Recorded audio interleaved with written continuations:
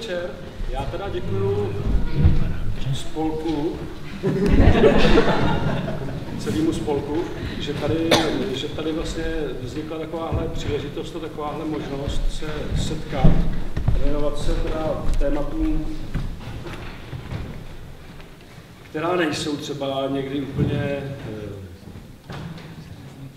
úplně ta nejpříjemnější, ale přesto, teď jsme tady měli takovou poradu u ohně, improvizovanou radu starších, sešlo se nás tam asi šest.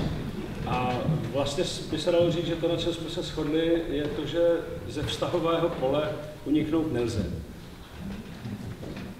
A že asi jediný, co se s tím dá dělat, je nějak to čistit a, a právě zprůchodňovat ty vztahy. Já jsem si vzpomněl na svoji dceru, který je dneska 12. Když jí bylo asi 6, tak se nám došmodrchaly nějaký provazy v domě a ona je začala rozvazovat a řekla tenkrát takovou větu, kterou dneska už si nepamatuje. Jo? Tenkrát to řekla, jakoby řekl bych z takového jiného jako ještě úhlu vědomí, řekla, na rozvazování uzlů já jsem fakt dobrá. tak jsem si řekl, to si se narodila do správné rodiny. Budeme rozvazovat uzly. Tak eh, než se do toho pustíme, tak já bych ještě otevřel prostor pro Milana, který by vám chtěl ještě taky trochu něco sdělit spíše rázu vydavatelského, protože on vydává moje knihy. Všichni ostatní mě poslali do hajzlu Protože nejsem vydavatel. Uh, Pierre mě do toho namočil, já jsem se vydavatelem, a vlastně nejsem vydavatel, kdybych byl vydavatel, tak kdokoliv přijde, tak mě něco dá, tak já to vydám. To už se mi to musí hodně líbit a já, když to vždycky srovnám, tak si říkám, nemá cenu zatím bourat nějakou sestavu. Uh, když, když se Pierre tady zmínil o těch dětech, tak uh, mně právě přišlo vtipně, že s těma dětma se člověk opravdu něco nového naučí, jako každý den stačí vnímat. Jo. Protože to pole, který to děti vyrábí, je buď právě zatažený, co si všímám u nějakých známých, anebo je to hodně otevřený a ty děti jsou až rozverný a tak dále, ale má to zase tu výhodu, když ty děti jsou hodně otevřený, že vám přinesou takové zprávy, které byste fakt nečekali. Jo? Takže uh, já, když jdu po bytě, už jenom v tričkách, v tričku a v trenýrkách a mám v ruce knížku, tak ne, ta nejmenší Lucinka jde okolo mě, jdeš do vany? Takže ta už přesně ví, to už je takový tík. Přijde za mnou, jak, jak už jsem ve vaně, donese sůl, nasype mi tam sůl takhle, ošetří mě a pak si začne se mnou chvilku hrát, protože potřebuje ten kontakt asi a pustí uh, vždycky do nějaké krabičky nebo do nějakého kyblíčku, napustí studenou vodu a říká, to je teplý, tati, buď v klidu, to je teplý, víš. A přijde a takhle to jenom Jo? A já zařvu, že jo, což se jí strašně líbí a ona, ona mi jenom říká, musíš dýchat. Dýchej, to je dobrý, já ti tam neliju. Teď už teplou, jo? Nádherný, to, je, to jsou fakt jako takový. Já to vezmu teď velmi rychle, jo, protože uh, určitě už nemá cenu se o ničem dál bavit. Uh, knihy byly stokráté uh, omílané, ale Eh, jednu věc bych vám chtěl rád říct. Já jsem včera pracoval dost, dost v noci, ozvala se mě jedna paní přes internet a rovnou jsme hodili čat a, ona, a já jsem se jí zeptal, Uh, jo, ona mi říká, byla jsem nedávno na přednášce, tam jsme se vlastně viděli nějak, uh, já si to nepamatuju, ale protože nevím přesně, o koho šlo, ale ona říkala, že jo.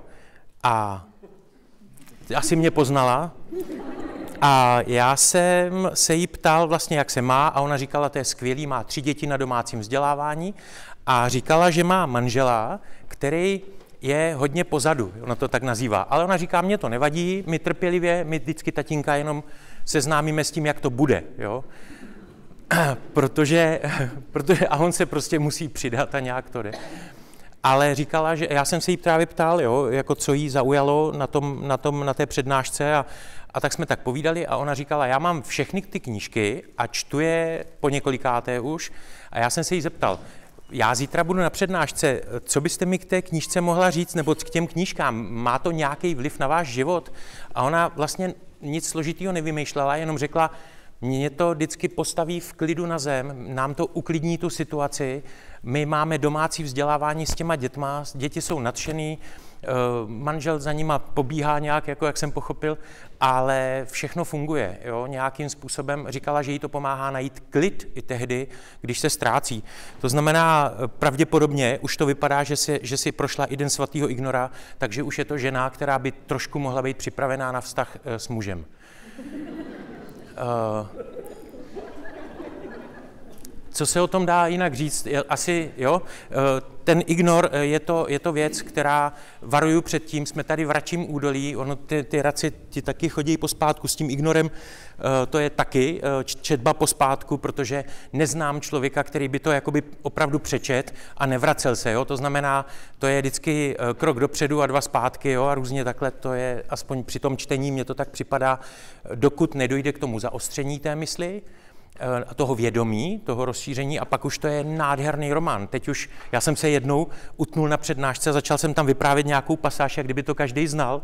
Pěra to hrozně pobavilo, ale uh, pak mi uh, jedna paní říkala, to bylo úplně přesný. No. Takže asi, asi se tam dá opravdu už najít kontinuální zkušenost nějaká. Nemusí to být jenom vždycky dvě stránky a, a zase týden nic. Jo. Takže je to, je to dřina, eh, je to pořád dřina, je to první knížka, kterou jsme vydali v roce 2008, takže dneska už je to více jak 10 let. Ale ta kniha prostě je čím dál krásnější. A s těma ilustracema, o kterých eh, tady ani nebudu povídat, jo, tak eh, je, je, je ještě, ještě čtivější, protože ty ilustrace vlastně do toho vnáší ten obraz, protože když já jsem se setkal se svým obrazem eh, při čtení a pak jsem uviděl ještě ten bábův obraz, že to, eh, to ilustroval bába, tak ne Sájí bába, to je náš bába, český, tak, tak to opravdu vystihnul. No. Má tam krásný vhledy. Eh, cesta je právě eh, určená jako novela, eh, na rozdíl od těžkého románu, hlubokého, kde ale fakt projdete jakýmsi údolím, dokonce nějakou temnotou. Podle mě musí si každý šáhnout na to, na to svinstvo, co tady jsme si přinesli. Nebo je tady někdo, kdo nemá sebou svinstvo nějaký sebou hnusný, co by jako vytahoval, až když ho nikdo nevidí, nebo když je s tím nejmilejším vždycky. Já myslím, že máme každý co říct. Ta cesta je naopak laskavá v tom, že začnete číst a rovnou to běží jako taková, jak bych to řekl, inscenace, taková, jo, e, rovnou kameru bych postavil do kupé a už by to jelo, a už by jelo vyprávění a do toho prostřihy a už to fičí. Tak ta cesta e, je ideální e, si ji přečíst. Paní ale říkala, že ji čte v posteli. Asi to funguje taky v posteli. Eh, mně to funguje hodně ve vaně, ale hm, asi bych se nehádal, protože přece jenom být třeba 8 hodin, že ta kniha jde přečíst zhruba za 8 hodin, jo, průletem, když opravdu jste v tom, tak 8 hodin ve vaně to už je hodně vody. Tak eh, psychologie souhlasu vypadala zpočátku jako šílená věc, pak jsem před ní varoval, pak jsem jí chlácholil, pak jsem jí velebil, pak jsem dělal já nevím co s tím, ale fakt je, že funguje i to, proto si ji lidi berou, eh, paní přišla, jak se jmenuje ta kniha, jak se dá číst odkudkoliv, tak to je psychologie souhlasu. Pierre mi to neschválil, abych tohle říkal, jo? ale já to říkám, protože to fakt jde. Na rozdíl od tady těchto těch tří knih, eh, které jsou vlastně příběhy. Ta psychologie souhlasu jsou střihy, jsou to studie, eh, zamyšlení, eh, příklady, je to rozvedený a je to tak zajímavě udělaný, že fakt jako i tak jednoduchý člověk, co se týče tady těch mezilidských vztahů, že já jsem fakt jako primitiv, já jsem spíš byl dřív technicky zaměřený a mezi lidma mi připadalo, že by lidi měli dojít na sebe hodný, ale sám jsem vlastně v krizových situacích hodný nebyl, jo? ale to jsem uviděl až časem, že jo? takže ta sebereflexe u mě přišla až ve velmi pozdním věku, jinak jsem se choval jako kreten často, ale díky tomu, že jsem si začal číst tu psychologii, tak jsem objevil to, že jsem kreten i teď a můžu to vlastně zase ty, ten kretenismus postupný, jo, protože já to jinak neumím nazvat, myslím to fakt vážně, protože eh, dostanete se do vypjaté situace, kdy jste unavený, a vy to omluvíte tím, že jste unavený a už prostě chcete na to dítě zařvat nebo někomu říct, že prostě už fakt na to serete, to přece nejde, že jo jenom proto, že vy jste unavený, nebo že se vám něco nelíbí, nebo jste nekomfortní. Tak jsem si říkal, jo, tak já tam projdu do toho a najednou jsem zjistil, že jsem se zaseknul dlouho u bludu, u předsudku, to je skvělý, přestal jsem se s lidma bavit v hospodě o blbostech, e, rovnou e, zajdeme do věcí normálních a ejhle, oni to nejsou žádní blbci, Ve chvíli, kdy já se přeladím a přijmu je tak, jak jsou, najednou se bavíme o věcech úžasných. No, co vám budu povídat, takže pro chlapy, to, eh, pro chlapy to knížka taky není asi, pro ženský taky ne. Ženský... Pro je pro... To je ono. Kdo je kretén, je to tady. Kdo si myslí, že tam má ještě uvnitř nějakého kreténa? Uh, Ježiš, já jsem jich moc nevzal, já jsem si říkal, tady, co by tady dělali kreténi, že? Uh, je tam bod, který, na kterým jsem teď zaseknutý, a to je porozumění. K tomu se vracím velmi rád v té vaně, protože uh, to porozumění to je něco, k čemu mě Per potom řekl, no to víš, porozumění to, kdo z nás to má, že jo? To je opravdu jenom určitá část lidí, kteří vyvinou to úsilí, aby opravdu se dostali do stavu, ve kterým začnou opravdu něco vnímat a něco si spojovat. Ale to už je stav ne přirozený, jako že něco, něco jako přijdete a jde to samo, máte na něco názor, hnedka pohádáte se. To porozumění, to už potřebuje určitou práci. Kdo chce pracovat, nikdo na sobě, dobře? Takže taky nic, ale, přátelé, poslední kniha, je lesklá, bohužel je lesklá, je taková, uh, tam ty všechny ty jsou povedený, tahle ta je lesklá jako učebnice a je to vlastně dobře. Uh, první vydání je lesklý jako učebnice, je to učebnicový příklad toho, jak jo a jak ne, takže typická pohádka, kladný hrdina, záporný hrdina, Eh, všechno by to bylo pěkný až na to, že zjistíte, že záporný hrdina vlastně není až tak záporný, že vlastně se s ním dá i sympatizovat, dokonce se dá pochopit, co dělá, že je to zmrt, protože to zmrtvých stání eh, naznačuje, že, těch, že to je obecný jev, že těch lidí, kteří si přišli Eh, mezi nás a takhle schrnout vždycky ze stolu ty, ty, ty, ty věci, které tam každý z nás uh, přinesli že jo, do té společnosti, do toho společného prostoru a oni to takhle schrnou a řeknou, no tak já skrz ty dotace postavím tohle, že jo, znáte to, že jo. Takže tohle to podle mě můžou dělat jenom zmrdi, takovýhle, takovýhle věci. No a tak jsem to tam jako trochu uviděl, Per to tam asi takhle nemyslel, jo, ale uh, je to prostě červený člověk s červenou energií, to znamená urvi, co můžeš, ovládni, koho můžeš, nezajímáš mě jinak než jako podřízený a čím víc jsi podřízený, tím méně mě zajímáš. A najednou se mu tam vyskytne člověk, který mu říká, hele, víš co, mě jako dokonce mu vyká, protože říká, vy mě ani nestojíte za to, abych já vám tykal, nebo aby jsme si tykali, vy pro mě vlastně nejste nic, vy jste vlastně jenom symbol něčeho zmateného, vy nevíte vůbec, co děláte, tak proč bych já měl si s váma tykat, proč bychom si měli být vůbec nějak blíž, protože když ho postavil před ultimátum, hele, buď tě zlikviduju, nebo budeš dělat pro mě, tak, že jo, musí se člověk zamyslet. No a tenhle ten týpek modrej už, který říká, takže prodám duši a budu dělat pro zmrda, nebo jak to bude teda? Jo, a začal trošku mm, přemýšlet a jak jinak, než co tam může Pierre nadspat, než obrátí se do sebe, že jo, to je jasný. Něco, co nedělejte, ne, nedělejte v žádném případě. Vtipný na téhle té knížce, opravdu, je to, je to velmi vtipný, čtete ji a najednou se to začne dít nějak samo. Jo? Mně se při čtení té knihy zjevila jedna pohádka, tu už jsem vyprávěl, a včera se mi zjevila druhá a ta se ale nedovyprávěla, protože jsem musel z vody ven. To je blbý. Takže já nevím, jak to dopadlo, takže já doufám, že se to napojí příště.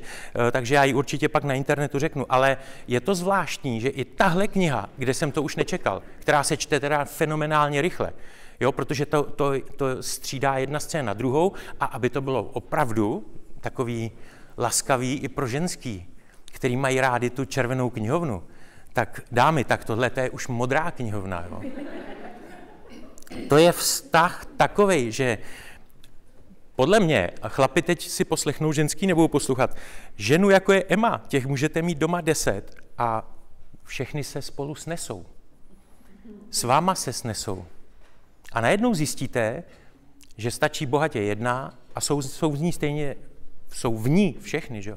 Já tam zažívám vždycky takový zvláštní stavy u toho, když to čtu, že si říkám, to tady budeme potřebovat takovouhle nějakou laskavou náladu v domácnosti a mezi přátelema a podobně. Takže přál bych vám, eh, pokud byste si náhodou chtěli ukousnout trošičku z nějakého toho krajíce tady z toho zmrtvých stání, abyste u toho prožívali eh, takové zážitky jako já. To je hlavně ten důvod, proč tady mluvím, jo? jinak bych neplýtval vaším časem, ale mě to vždycky tak natchne, že si vždycky říkám, kdyby, kdyby jeden člověk začal nacházet zase další svoji cestu, tak mě to baví a vypadá to, že jste dost uh, naivní jako já v tom, že když začnete číst, že se nic nestane, tak je to dobrý. Tak v klidu začněte číst a uvidíme, co se stane. Tak jo, moc děkuji za pozornost, to by mohlo být všechno.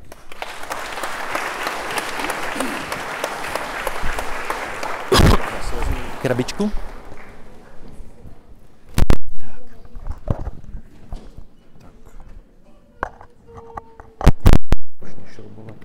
Mhm. To asi dáš. Jo, to je v pohodě. No já musím říct, že dneska teda, když jsem poslouchal Milana, tak eh, já si nemyslím, že by na místě bylo slovo kreten. To nemyslím si, že to je slovo, který vůbec něco vystihuje. Jo, je to... Ale mimozemšťan.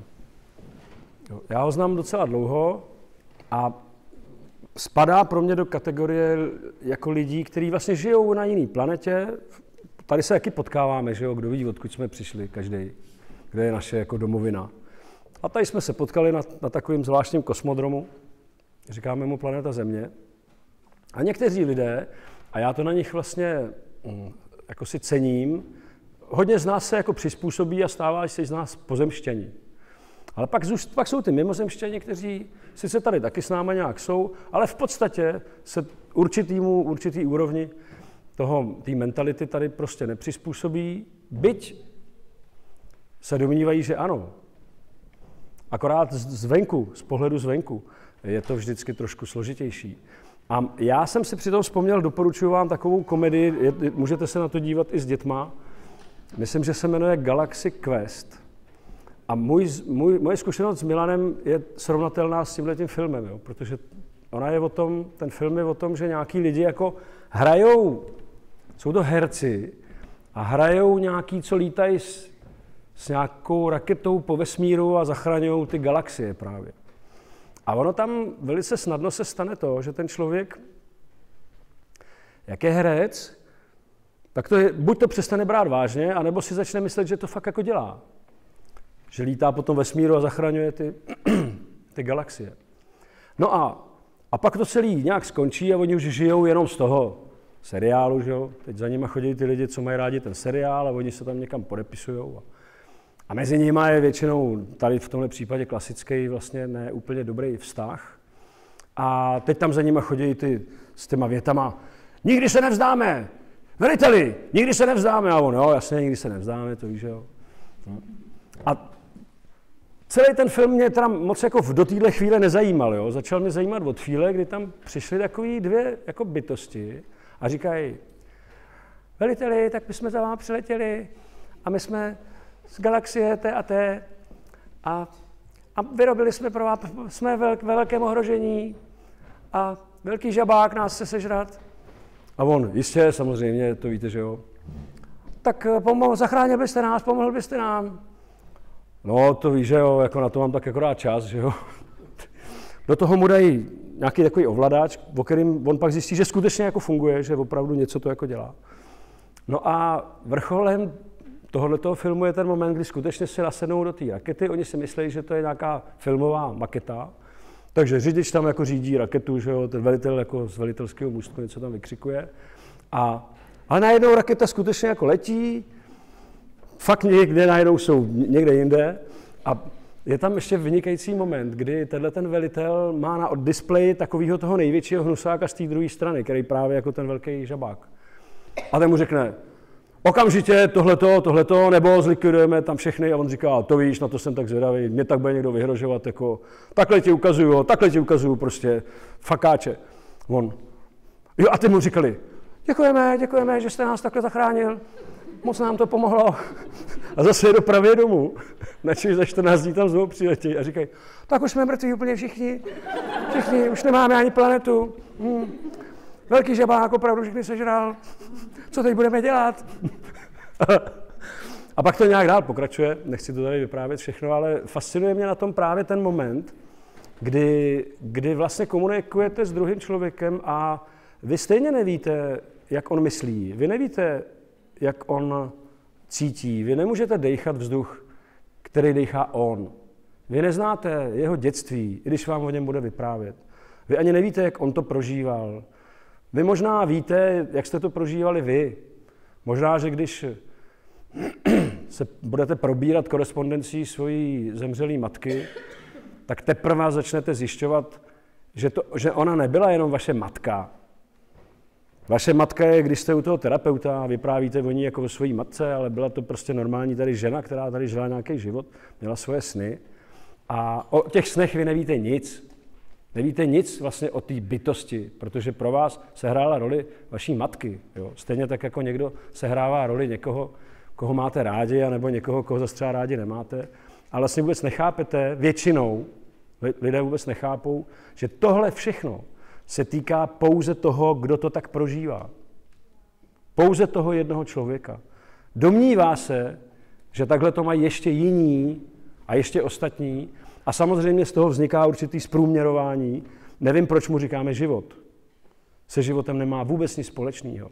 Je to jenom zvláštní společný prostor, který je spíše okovem, který limituje naší existenci a v, v nádherný, v nádherném dramatu Romeo a Julie je, řekl bych, manifestovaný. Jo, jako okov, kdy všichni jako jim přejou vlastně nakonec, každý by jim přál, ať vám to hezky dopadne, to víte, že vám pomůžeme, samozřejmě, že ano. Ale nakonec to nespěje nikam jinam než k té tragédii, že? protože když se na to podívá člověk skutečně důkladně, tak nemůže dospět k něčemu jinému a možná, že to někoho nepotěší. Že pokud on sám si nepročistí svůj prostor, tak nemůže vůbec existovat mezi druhými lidmi, neboť ti druzí lidé jsou pro něj pouhými ilustracemi anebo určitými mechanickými představami. O nich vlastně nevíme nic, protože nejsme zvyklí naslouchat. To je vlastně asi ten jeden z důvodů, proč občas mám dojem, že bych vám třeba k tomu mohl něco sdělit, protože moje práce spočívá v tom, že lidem naslouchám. A potom zjistíte, že když lidem nasloucháte nezaujatě, tak se dozvídáte mnohem jiné věci, mnohem zajímavější věci a možná, že věci, které jsou sice skryté, ale daleko víc se týkají reality. Tý skutečný, naší, společný. Takže když jsme tady mluvili o tom, že bychom třeba věnovali ten večer eh, vztahům, tak já jsem rovnou řekl, ano, pojďme, ale pojďme teda mluvit o dvou rovinách vztahů, nebo v každém vztahu jsou minimálně dvě roviny, které jsou velmi významné a většinou, nebo málo kdy, jsou skutečně dobře vyvážený. Eh, řekněme, když si to hodně, hodně zjednodušíme, že jedna ta úroveň je lidská rovina mýho vztahu, druhá rovina je božská. A jednou mi jeden jasnovidec to říkal hezky, jo, už před mnoha a mnoha lety, říkal, víš, ono by bylo nejkrásnější, kdybychom byli schopni toho, toho partnera svýho skutečně vnímat jako božskou bytost. A je pravda, když si to vybavíte, pokud se, jste to zažili, já věřím tomu, že tohle je zážitek, který by neměl nikoho úplně minout, i když jsou některý klienti, kteří mi v 50 řeknou, že to fakt ještě nepoznali, takže je to zajímavý. Ale říká se tomu zamilovanost. Jo, říká se tomu zamilovanost a je to stav, ve kterém, psychologicky řečeno, naše příčetnost je v, jako v mínusových číslech, v červených. Jo. Zamilovaný člověk je nepříčetný. Možná by nebylo špatný, jako kdyby byly nějaký takový jako sběrný tábory. Nepouštěte mezi lidi. Jako. Ale v podstatě každý, kdo tento stav zažil, tak eh, může vlastně si vybavit, že ten partner, ten jeho partner, se kterým to zažíval, skutečně pro něj měl božský charakter a jeho božskou úroveň velmi dobře vnímal. A e, samozřejmě zajímavý na tom je, to říkal někdy Harda Dušek, najednou zmizejí blbci. Všichni lidi jsou přátelský, hovoříte s otevřeným srdcem a lidé mají také otevřené srdce. Tam, kde dřív byla překážka, tam dneska, tam v tu chvíli je najednou cesta otevřená. Je to úžasný, úžasný. Ten, ten zážitek, řekl bych, je manifestací té božské úrovně vztahu. Samozřejmě, že technicky za to velkým problémem, eh, aspoň jak ho nahlíží třeba analytická psychologie, velkým problémem tohoto stavu je ten fakt, a v tom je to asi nepříčetný, respektive určitý typ jako vytržení, že každý z nás tu skutečnou božskou část nese v sobě. Muž tam nese ženskou část, tu animu, žena tam nese mužskou část toho anima. A pochopitelně, že v našem prazvláštním světě, který je velmi inteligentní, ale zároveň hluboce nevědomý, toto většinou nevíme. Nepamatuju si, že dokud jsem se to nedočet u Junga, že by mi někdo jako třeba ve škole řekl, no to víte, ono je to tak jako, že podstatě ten mužský svět je jako vnitřně ženský a ten ženský svět je zase vnitřně mužský. Jo, někdy na to narazíte, ale nenapadne vás, že, tak, že to platí obecně. Nenapadne vás, že to je jako v podstatě psychologický zákon. No takže vás ani nenapadne, že ta zamilovanost je vlastně stav, ve kterém žena svého anima plně promítá do toho partnera. Proto přichází nadšená a říká, on ví úplně všechno. Proto ten muž tu svoji animu jak si zcela promítá do té ženy. A proto v její přítomnosti zažívá něhu, srdce otevřený, úsměv, ke kterému nepotřebuje důvod, prostě zdá se mu, že ona je řešením všech jeho problémů. Problém je ten, skutečný, to vám řeknou i jaksi racionalističtější psychologové a psychiatři, že ten stav většinou pomine. Kdyby takhle jsme mohli jako žít pořád, já nevím, kam bychom došli, možná někam k těm mimozemšťanům. Trošku jsme v ohrožení, no. Ale e, vlastně to, proč ta žena po třech, čtyřech, pěti nebo dvaceti letech řekne,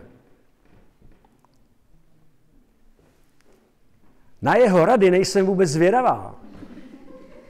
Rozumíte? Proč v tu chvíli říká, když je zamilovaná, proč říká, on ví úplně všechno.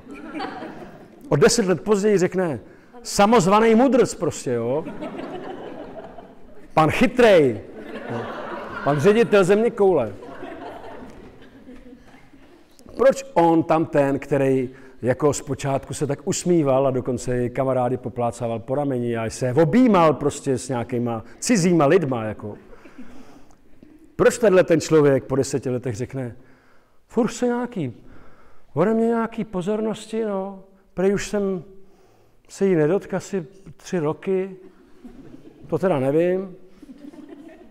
Rozumíte, jako nějaký citový projevy? Pane doktore, víte, co jsou citový projevy? Prej nedávám citový projevy. Se mě ptala, jestli jí mám prej rád, jestli ji miluju. Jsem jí řekl, proč myslíš, že chodím do práce, že jo?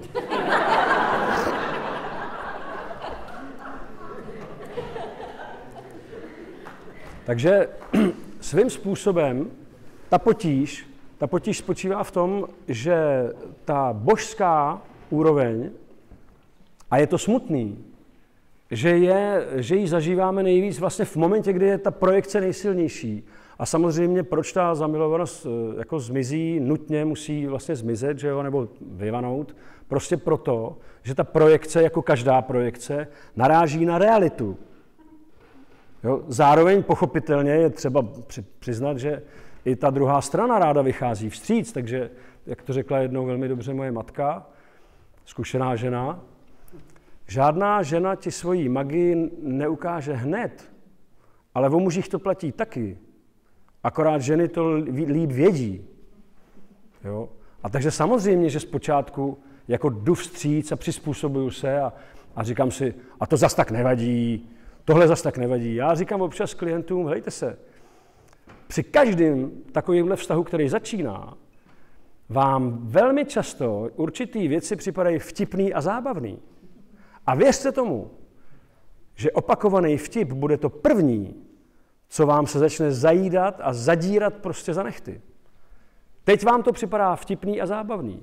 Až to budete žít 20-30 let, tak zjistíte, že to vůbec nebylo myšlený nikdy jako vtip. Od začátku to byla jako jasná, jasně vyložená karta na stůl. Když muž řekne, jsem rád, když žena po desáté hodině nechodí po ulici, protože to dělají jenom kurvy, tak vy se tomu poprvé zasmějete. A je to dobrý vtip. Akorát, že po 30 letém vztahu zjistíte, že přesně to jako vtip vůbec myšlený nebylo. Takže když přijdete domů v půl jedenáctý, tak už jste v jiné kategorii.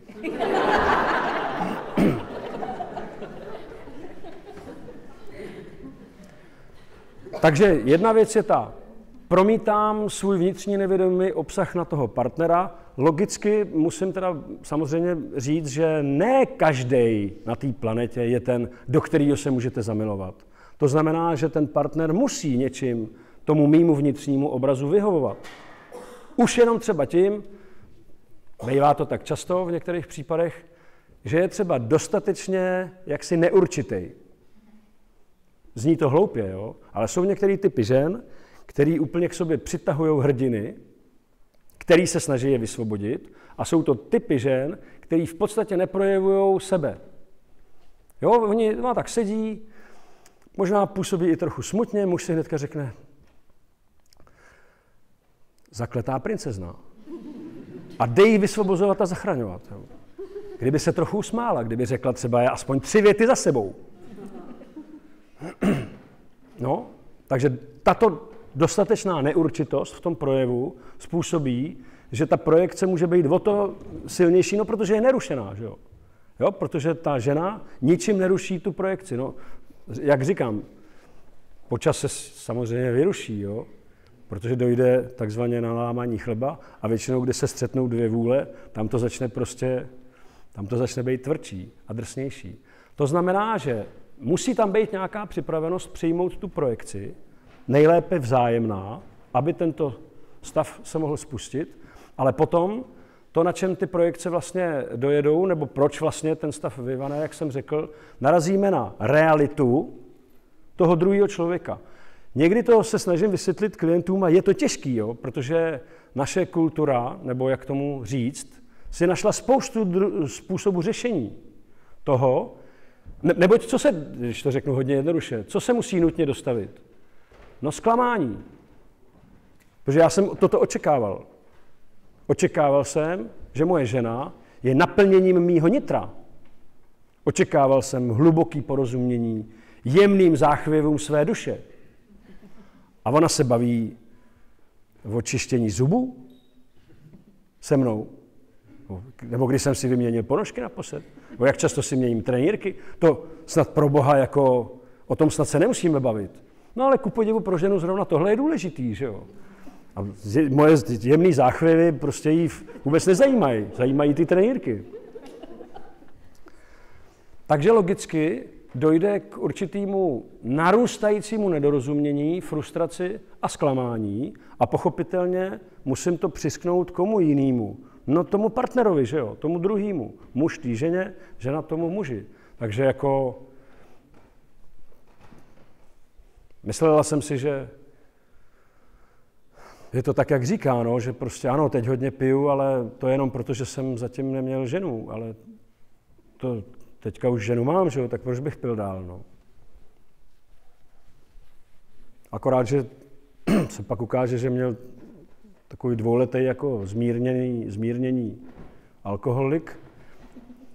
Pak ona se zeptala na ty trenírky, jeho to rozčílilo, tak kam to bude řešit, že jo? S ní to řešit nemůže, protože ona tomu nerozumí. Musí za kamarádama. Tam se prostě pije pivo, že jo? Takže takhle postupně se prosadí do té božské sféry sféra lidská. Řekněme, že je to, ono je to těžký, jo? Já bych tomu řekl spíš taková ta člověčina, protože kdyby to byla skutečně lidská sféra, nevím, jestli se k tomu vůbec dneska můžeme dostat, ale domnívám se, že skutečné lidství, lidství jako takové vychází ze setkání božství a té člověčiny. Jo, dalo by se říct, že jako jsme ovládaný nějakýma půdama na jedné straně a nějakým ideálem na straně druhé.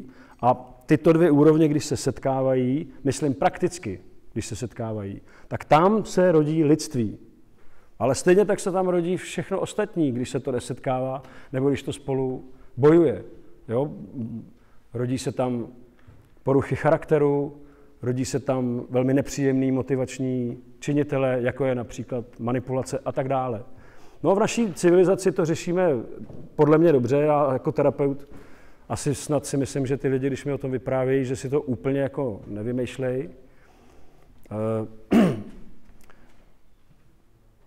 U těch přírodních národů, národů poligamie ještě byla celkem normálně se vyskytující, zatímco u nás je to složitý v tom, že poligamie se jako netoleruje. Myslím, jako obecně. A myslím v tom veřejném prostoru. Málo koho potkáte, kdo vám řekne, takhle se sedějí u toho stolu a no tak tohle je, to je moje žena, tady to je Milenka, jo, tady ta, ta by se mi taky líbila, no. A, a ta žena říká, no a tady toto je můj manžel, tady, teda, tady ten, to je, tak, to je můj milenec a tady je, máme to trošku komplikovaný, protože on má taky jednu milenku, ale ta bydlí v Ostravě, takže máme na sebe málo času, ale, ale jsem tam, jsem tam, je to vlastně, v podstatě jsme se naučili s tím hezky žít. Já jsem jednou opravdu zažil takový případ a ten byl úplně skvělý. Když jsme seděli někde, jako rodinná oslava taková to byla, byla tam jedna moje známá, tam mě tam pozvala, pak tam byla její matka, strýc a otec. A mezi nimi panovala velmi dobrá jaksi nálada, příjemná. Jsem druhý den říkal, hele, to strejda fajn, ten je, to je sympatiák, jako vidím, že mají, jako, že si rozumějí, to je, jsem tam neviděl tu příbuznost v těch, v těch rysech. On je jako čí vlastně bratr? No takhle, my, já mu říkám strejda, jo, ale on žije s mojí matkou. Aha, a otec? Nezdálo se mi, že by mezi nimi byl nějaký problém. Jako. Ona říkala, no, ono to má historii. Otec se stal ředitelem školy a měl méně a méně času na rodinu. Matka mu po několika letech řekla, takhle to nepůjde, aspoň jednou za 14 dní, jeden den ve víkendu prostě bude náš. On řekl, samozřejmě, chápu to. Po dvou letech jí řekl, promiň, Prostě. Moje skutečná žena je ta škola. Mrzí mě to, je to tak. Žena řekla v tom případě, se připrav na to, že se zařídím po svým, což taky udělala. Pak chvilku se voda vařila a pak se to uklidnilo. No. Tak to je podle mě třeba velmi jako příjemný a přátelský řešení problémů, který Většinou se takhle jako otevřeně neřeší, ale řeší se, a to je vlastně ten problém, ke kterému se teď ještě dostanu, technicky vzato, totiž žádný z partnerů, se kterým žijeme, nemůže skutečně naplnit celou tu totalitu toho vnitřního prostoru. Jestliže moje anima má nějakou kvalitu, má nějaký vývoj, tak žádná žena na tomhle světě nemůže stoprocentně korespondovat s mojí animou. Opačně je to taky tak. Jo. Není možný, aby ten muž byl animem té ženy. V žádném případě to není možný. I když ve stavu zamilovanosti si to myslíme. To je ten skutečný důvod té frustrace. To je ten skutečný důvod toho, proč vlastně máme za zlý tomu druhému, že on to jako nenaplňuje. Ale myslím si, že by bylo daleko šikovnější. Samozřejmě, jak říkám, řešíme to potom instinktem, půdem, Eh, nevěrou a různýma takovýma jako vztahama, kterýma unikáme, ale většinou, když se pak o tom bavíte se svým partnerem, nebo to takzvaně praskne, což se taky děje, tak to dělá zlou krev. Málo který z těch partnerů řekne, a víš, že člověče, jsi to udělal dobře, jako To se většinou neděje, jo? to se většinou děje až ve chvíli, kdy trváte na svém. A ten manžel nebo ta manželka prostě vyzkouší všechny možné nátlakové nátlakový e, hry typu buď já nebo ona nebo a tak dále, že jo, prostě známe to všichni. Takže tohle všechno e, plyne z toho faktu prostýho a bohužel celkem jednoduchýho, že to, co jsme hledali, jsme prostě nenašli u toho jednoho člověka. Myslím si, že někdy se snažím to svým klientům navrhovat. Zatím se mi téměř nikdy nepodařilo jako s úspěchem, že třeba řeknu tomu člověku, ale podívejte se, vás zajímá ta filatelie, tak co kdybyste věnoval víc energie filatelii a třeba vás ta milenka už nebude potom tak rajcovat, jo? když teda té vaší ženě to vadí. Jinými slovy, naplňte svoji duši něčím jiným. Jo? Nehledejte to furt jenom u těch dalších a dalších žen, anebo u těch dalších a dalších mužů. Eh, ještě hor, jak říkám, většinou se mi nepovedlo nikoho přesvědčit. Jako. Ještě horší je to ve chvíli, kdy se snažím říct, pochopte, že nejintimnější vztah nemůžete mít s nikým jiným, než s vaší duší. To je nejintimnější a nejhlubší vztah. Žádný jiný nikde nenajdete. Jo? Proto, a vím, že to je jako trochu nepochopitelný, ale e, lidé si velmi často myslí, že vnitřní svět je svět, který skrývají. Jo? Že vnitřní svět je ten, který oni jako skrývají, jinými slovy ho neotvírají do prostoru společného. Přitom je to skryto možná jenom jim, ve skutečnosti to má každý napsaný na čele. Jo? Ne, tady jsme už slyšeli jeden příběh eh, jasnovidecký, že ta žena to říká, jak to bude. Jo, to není, to není složitý, to vám řekne let's kdo, jak to bude. A konec konců nejhorší není to, že to vidíte na těch druhých. Nejhorší je to, že to nevidíte na sobě, to samý. Jo, tam máme tu slepou skvrnu, to ego nám to prostě, nám v tom prostě brání. Ale to nejsou ve skutečnosti, a, a pak lidi řeknou, v Americe to hodně mají, že jo, zeptáte se ho, eh, jak se dneska cítíš? On řekne, pardon, to je příliš osobní otázka. Jo, přijde člověk úplně na, na, na, kopaci, na kopici, prostě úplně zhroucený, vidíte, vidíte na něm, že je úplně v hajzlu a řeknete mu, Jaký problémy? Pardon, jako o osobních věcech tady mluvit přece nebudeme. Přitom jako vyzařuje do prostoru něco, co je jako evidentní, jo? naprosto evidentní, ale slušný vychování nám brání, jak si o těchto věcech mluvit, mluvit přímo. A jsou považovány za intimní. Tak já jsem teda dospěl k jinému přesvědčení. Mě, asi možná je to taková ta terapeutova, terapeutovo zoufalství, neboť o těch věcech slyším tolik, že se mi intimní ani nezdají. Mně se zdá intimní vztah k vlastní duši a k božství. Tam cítím skutečnou intimitu, neboť to je velmi obtížný sdílet, je velmi obtížný se v tom vůbec vyznat a je velmi obtížný to vůbec nějakým způsobem zpracovávat. A dokonce se mi zdá ale, že toto je pole velmi, velmi zajímavý. A když ten člověk obrací pozornost tímto směrem, tak najednou zjistí, že to vlastně není moc zajímavý hledat naplnění u druhých lidí. Ať už to je milenka, milenec, nebo kdo ví, kdo ví, kdo jiný. Ne, prostě. Pokud to nenajde ten člověk v sobě, nemůže to najít nikde jinde. Jo? A z toho tedy plyne velmi zvláštní nedorozumění a neporozumění a konflikt mezi božským, mezi božskou úrovní vztahu a mezi lidskou úrovní vztahu. Když se teď vrátím. Původně jsem tím chtěl vlastně začínat. Pak, pak jsem byl odveden úvahami o Galaxy Quest.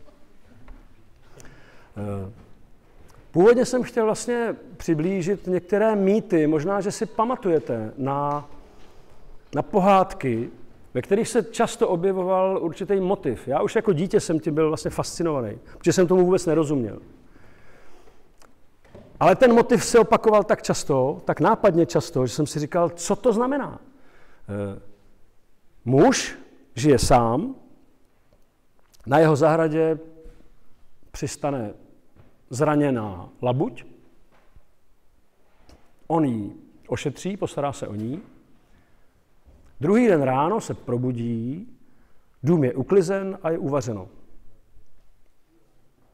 A tam je ta labuť.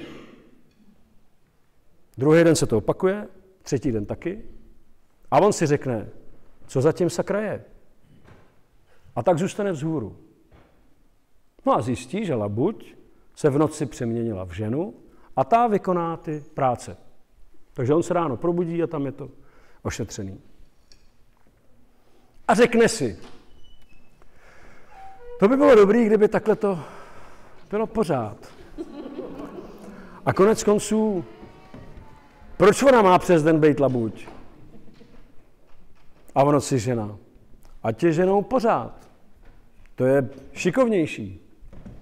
A tak ona si přece sundává takovou tu kůži labutí. A tak on vezme tu kůži a spálí ji v kamnech, v ohni.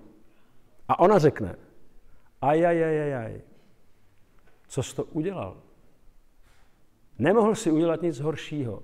Teď už se nikdy v životě neuvidíme. Kdybys to byl vydržel ještě nějakou dobu, mohlo být všechno v pořádku. Ale ty si na to šel takhle a zmizí. A on ji potom hledá. A já jsem si říkal, proč se nějak nedomluvili líp? proč to takhle blbě muselo dopadnout? A když se to opakovalo v dalších těch příbězích, tak jsem si říkal, no musí tam být nějaká zákonitost. Nedávno jsem četl právě velmi zajímavou knihu a studii od Marie Louis von Franz, která tam taky uvádí příběhy tohoto typu a říká, že vlastně u těch přírodních národů je to ještě víc nápadně jednoduchý. Říká, že tam je to třeba tak, že prostě chlap jde do lesa, chytne tam opici a přivede ji domů. A příběh je stejný. Ale tam teda, asi protože žijou blíž té přírodě, tak se s ní i třeba domlouvá a, řek, a on jí to řekne. Řekne jí, hele, co kdyby? Ty si už jako se neproměnila v tu opici, co kdyby jsme tuhle kůži tady zakopali na zahradě? A žena řekne, ano, tak jo, tak to takhle uděláme. Ale řekne mu, ale nikdy mi to nesmíš připomenout, že jsem byla v opice. Nebo mu řekne, nesmíš to nikomu říct. Prostě je tam nějaká podmínka, taková, která se nakonec ukáže jako velmi složitá, protože se spolu pohádají, on jí řekne, hele, stejně jsem si tě přivedl jako opici prostě tady. A nebo se v hospodě pochlubí, že jeho žena vlastně původně byla tou opicí.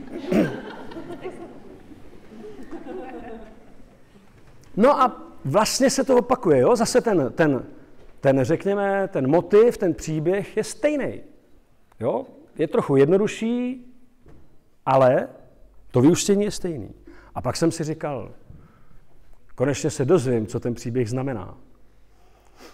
A ona to tam říká. Ona říká, víte, to je to velmi obtížný, to je, to je ten důvod, proč první láska obvykle nekončí celoživotním vztahem. Protože tam, při té první lásce, která nás tak silně zasáhne a kdy skutečně zažijeme poprvé v životě, myslím, od dětství, v dětství to člověk je nepříčetný vlastně pořád, že jo? Milující, otevřený, skvělý prostě, laskavý, přátelský, eh, spontánní, jo? Jenže to se pak odnaučíme ve škole, takže potom pak chodíme s těma zakoboněnýma tvářema a potom se odevře to srdce, pak přijete zamilovanost a vrátí se ten prožitek božský který v těch mýtech je naznačovaný tou příbuzností mezi člověkem a zvířetem. To, zví, to zvířecí je tam vlastně myšleno jako to božský, to čistý. Jo? V tomhle smyslu to není žádný pejorativ. Naopak, jo? to je velmi, velmi jaksi vysoko hodnocená úroveň. A proto ty první lásky vlastně skončí, protože respektive nejsou vlastně jako slučitelný s naším životem, a proto po nich celý život zase toužíme a stejská se nám po nich. Protože my jsme tam zažili toto. To první otevření toho srdce, to první čistý setkání s božstvím a taky samozřejmě to, že ta intuice ještě byla úplně čistá. Když je nám 50 nebo 30 a máme dvě děti a jsme rozvedení, tak si říkáme, no je to skvělý, jako jo, že jsem potkal konečně někoho, no ale jak on se bude chovat k mým dětem, si řekne ta žena. To si v 16 neříkáte.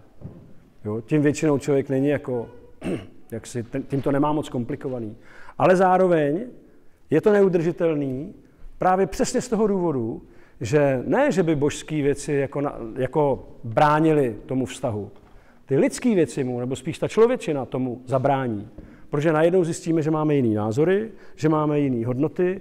Moje matka například na tu moji dívku se nedívá zrovna laskavě. Vzal jsem ji jednou na oběd a nebylo to moc přátelský. Ona ta dívka potom taky jako se nechovala jako úplně tak s tím porozuměním a tak dále. Jo? Takže ta člověčina postupně vlastně, a čím jsme mladší, tak tím je to horší, že jo? rozbíjí ten vztah, až ho vlastně destruuje. A zůstane tam jenom ta vzpomínka na to čistý, božský, jak si a, a jdeme si dál. Jo. Proto mají ženy často ty představy, že kdyby se bývali vzali toho prvního, mohlo to být všechno úplně jinak. Jo. Nemyslete si, že muži si to nemyslej, jenom tím méně často argumentují. Já jsem zažil, když jsem si dělal soukromý takový průzkum těchto těch prvních lásek, který třeba žijou déle, nebo a dokonce jsou i lidi, kteří se jako vezmou a mají spolu děti, tak obvykle skoro nejčastější případ, ale teď mluvím o těch negativních, třeba existují, jo, někde takovýhle, takovýhle skvělý vztahy, které začaly někde ve školce a,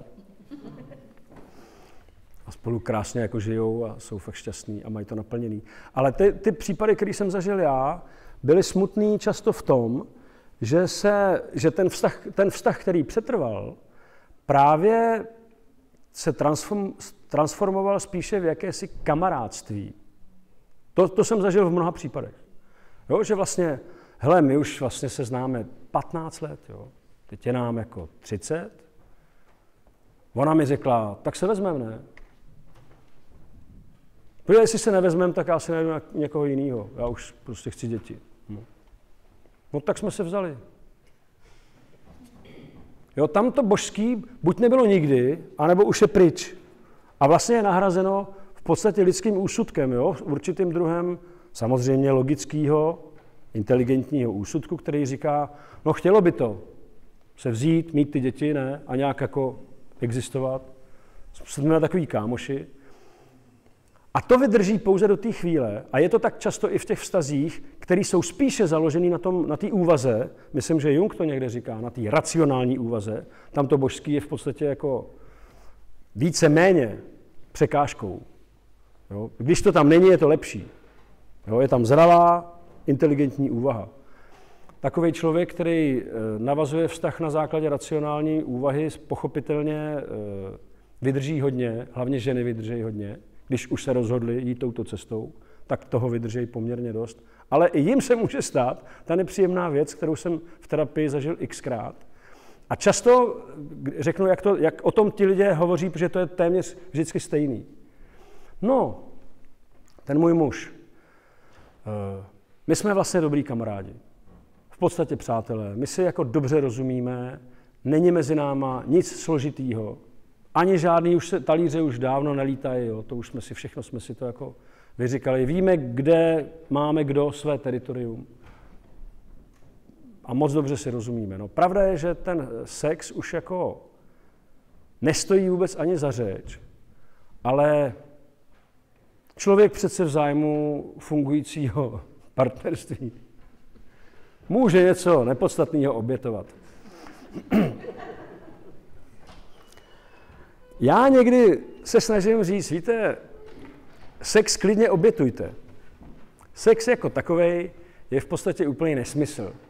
Je to způsob, kterým lidé přejmenovávají něco mnohem zajímavějšího, aby, nemohli, aby nemuseli si uvědomovat, jak je to významný. Proto tomu říkáme sex. Jo? A jako o sexu o tom jistě můžeme hovořit. To je to v souvislosti s tím, co jsem říkal na začátku. Vzniká jakási přibližná platforma, na který ta božská síla, která v nás je, a která nás vlastně spojuje s tím druhým člověkem, když jí začneme říkat sex, můžeme ji chápat technicky. My máme sex dobrý. No, my teda sex moc dobrý nemáme. No. Jak se cítíš při sexu? Není to sexismus. A e, tohle všechno samozřejmě je způsob, kterým to můžeme dostatečně znehodnotit, abychom už potom nevěděli, o čem vlastně mluvíme.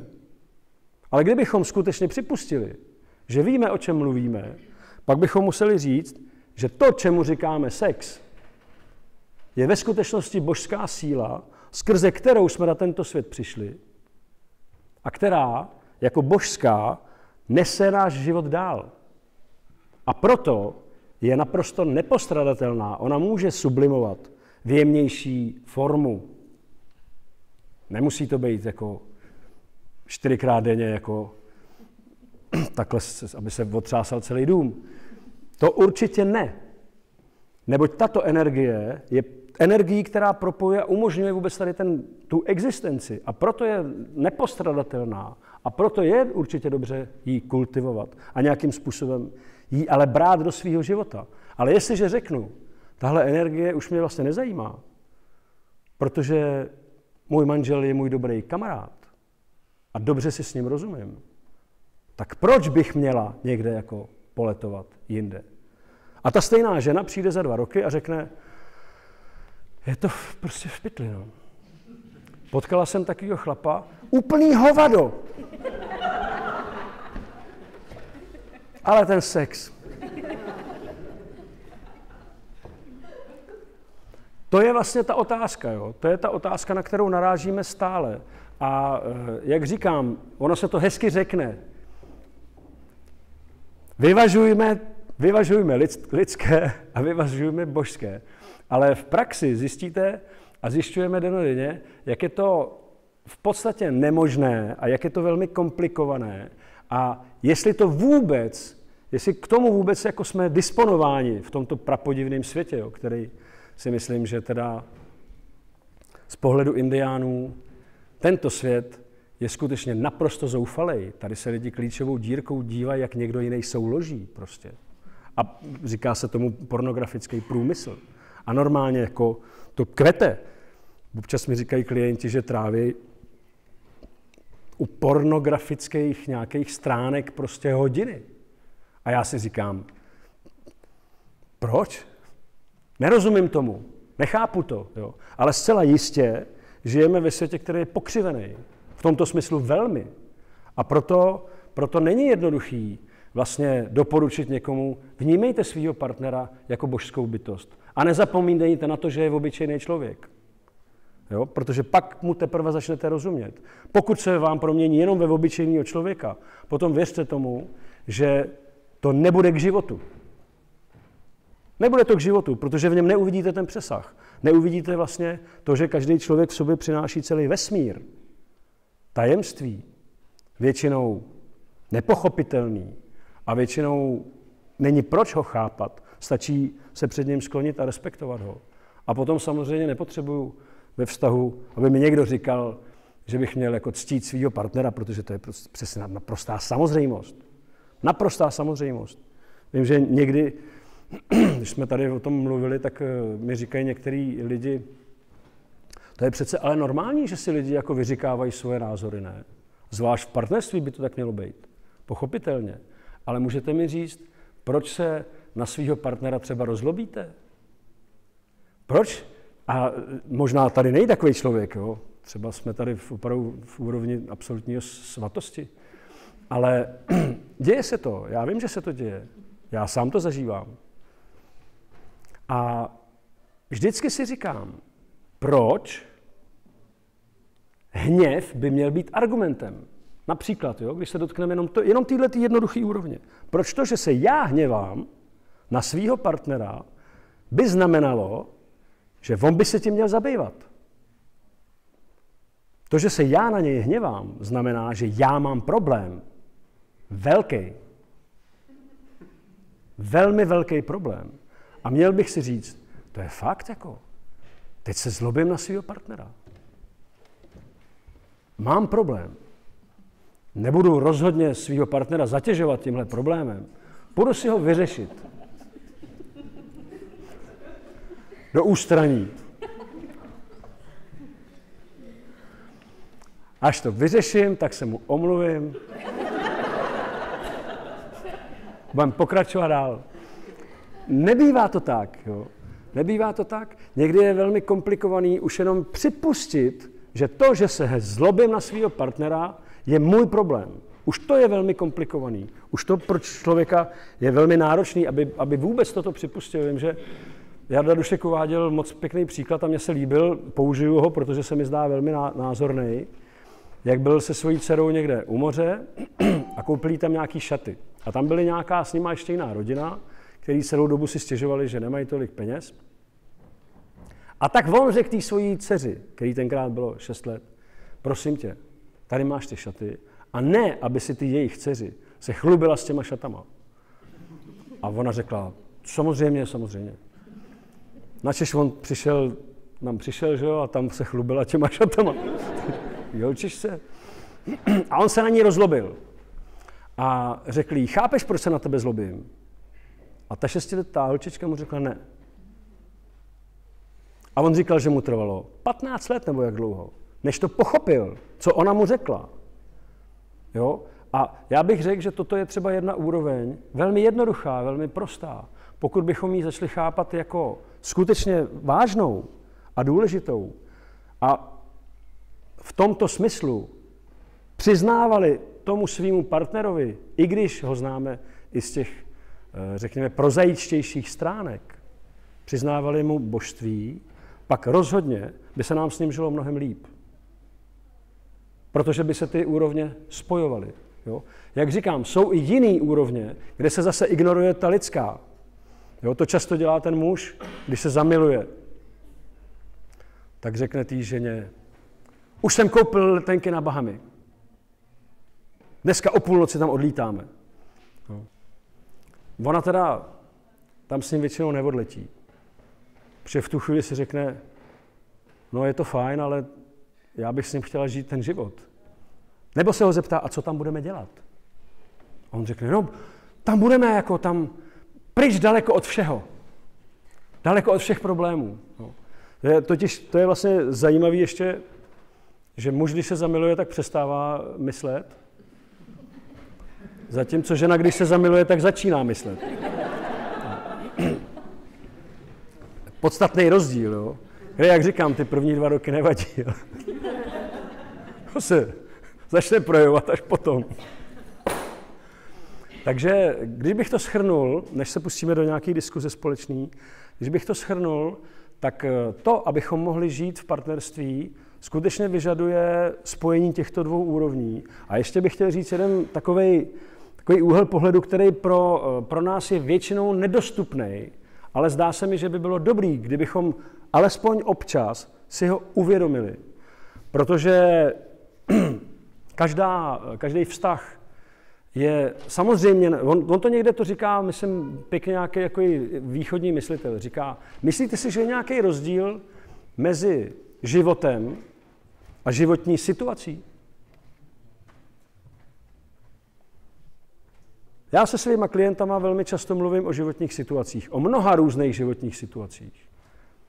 Ale je zvláštní, že ty životní situace tolik zaměstnávají naši pozornost, že si přestaneme uvědomovat, respektive začneme zapomínat, že životní situace jsou umožňované životem. Velmi zajímavě si tohle na vás může dolehnout ve chvíli, my teďka zrovna máme takový, takový neúplně dobrý stav, kdy máte člověka, který ho znáte 50 let a on najednou leží v tom komatu. Leží tam prostě, kde je jeho duch, neví nikdo, jsou tady nějaké životní funkce. A pak se teprve začnete ptát, proč ty životní situace byly tak významné, že ten život se musel takhle mocně ozvat, abychom si to mohli uvědomit a říct si, no jo, je to fakt jako. My jsme se tady bavili o tom, jestli je spravedlivě uspořádaná společnost. A teď je to úplně jedno. Je to úplně jedno, protože prostě ten stav je takový. A ten život říká, vidíš, ty tady věnuješ pozornost životním situacím, ale když nebude život, tak nebudou žádné situace. Už vůbec ne životní. Na to můžete zapomenout. Jo? A to je ta božská úroveň toho partnera. To je ta duchovní úroveň toho partnera. Velmi často se vám může stát, že ona promluví skutečně, když se setkáváte. Většinou, když se poprvé ty duše setkají, trvá jim to pár vteřin, ani ne. Hned to vědí. Hned vědí, co je mezi nimi společného a mohou tušit i, co je tam karmického. Často se to objevuje. Jo? Když se ptám těch žen, co jste si řekla poprvé, když ten muž se vás nějak dotknul jako vnitřně, jako, jako bytost. No, řekla jsem si, to je teda ale drzoun. Hm? Jiná řekne, dotknul se mě opravdovostí. Tak už rovnou, můžete si rovnou uvědomit, že když se vás ten druhý dotkne opravdovostí, tak to asi bude bytostný vztah, asi půjde hlouběji. Když si první řeknete drzoun, tak asi budete řešit karmické problémy, který jste si od někud přivlekli. A budete je muset řešit. Jo? A jak říkám, po 20 letech už vám to jak vtipný připadat nebude. Nebo drzost toho muže prostě nikam nemizí. Zdá se naopak, jako kdyby prostě rostla víc a víc. Takže já se snažím upozornit na to, že někde velmi hluboko je duchovní úroveň vztahu, ta božská, která se může projevovat v tom, čemu říkáme teda sex, ale může se projevovat i ještě v mnohem hlubších úrovních. Něco, něčeho, čemu vlastně nerozumíme a přesto ten vztah to pořád drží jaksi při životě. Neboť pokud bych, byste si to zkusili představit, tak na, na té nejhlubší úrovni, já vždycky říkám ten příklad, mě se teda nesmírně líbí, jo. omlouvám se těm, kteří ho už třeba znají. Jak jedna ta duše žije v nebi. A takhle komunikuje s těma dušema a říká, vy máte světlo, úžasné světlo, všechny duše, tak nádherný světlo. A tak dlouho to říká ta duše, až přijde jiná duše a řekne, ale ty máš taky úžasné světlo. Hm, to já nevím. Já vidím to vaše. A to je úžasný. O svém světle já netuším. A tak tahle duše řekne, víš co? Já ti navrhuju takovou hru. Narodíme se spolu na planetu Zemi. Teď je tam to zmrtvých vstání, pěkně rozjetý, tam to půjde dobře. Já tě budu tlačit do tmy. A víc a víc a víc a víc. A pořádně. Víš? A když budeš v té nejhlubší tmě, ale neboj se, já tě tam dotlačím, tak ty, ty to svoje světlo uvidíš, že ta tma už bude taková, že tam nebude nic než to tvoje světlo. A pak uvidíš svoje vlastní světlo. A ta duše říká, to je nápad. To musíme udělat. Jo? A pak, když jdou, tak ten ještě jenom říká, prosím tě, ale nezapomeň, že to dělám pro tebe. Jo, ono na to se pak snadno zapomene. a to jsou vlastně úrovně, ty duchovní, ty božské úrovně, velmi hluboko skrytý, proto vlastně některé věci si od někoho nenecháte líbit, ale od toho partnera ano. Někdo by to mohl zkusit a rovnou by jako rovnou byste s ním zametli. To by vůbec nebylo možné. Ale ku podivu, tady to možný je. A já si vždycky říkám, že abych pochopil a porozuměl hloubce toho, co jak si ten vztah skutečně umožňuje, možná uvedu ještě jiný příklad, jo, z něj by to taky jste mohli uvidět. Eh, když je podzemní voda, ta podzemní voda vlastně je něco, co se sbírá tady na tom povrchu a potom ona klesá někam dolů. A klesne někam, kam už, už hlouběji nemůže. Ona už hlouběji prostě nemůže. A vzniká podzemní pramen, podzemní nějaká, nějaký energetický tok. A ten se spojí s nějakým jiným. Hm? A to je ten vztah. To je to, co ve skutečnosti nese ten vztah. Proto velmi často, když se vrátím k té úvaze o, tom, o té první lásce, vlastně ten skutečně funkční vztah je ten, který žije na té nejhlubší úrovni. Ty ostatní jsou taky podstatný, samozřejmě, že ano. Ale tento je ten, který existuje. A s tím nemůžete vůlí udělat vůbec nic. To můžete jenom respektovat. Že takhle to je.